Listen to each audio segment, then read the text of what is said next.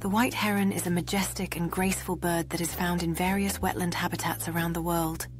Its pure white plumage helps to camouflage it in the reeds and marshes where it hunts for fish and other aquatic creatures.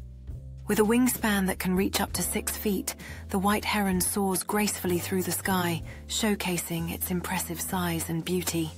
Often mistaken for the great egret due to their similar appearance, the white heron is known for its distinctive yellow bill and black legs. During mating season, these magnificent birds perform elaborate courtship displays, including graceful dances and aerial acrobatics to attract a mate. Once a suitable partner is chosen, the white herons work together to build a nest high up in the trees near water, where they raise their young chicks. The white heron's dedication to caring for their offspring ensures the survival of the next generation, passing down their elegant traits and behaviors. As ambassadors of wetland ecosystems, white herons play a crucial role in maintaining the delicate balance of these habitats by controlling fish populations and preserving biodiversity.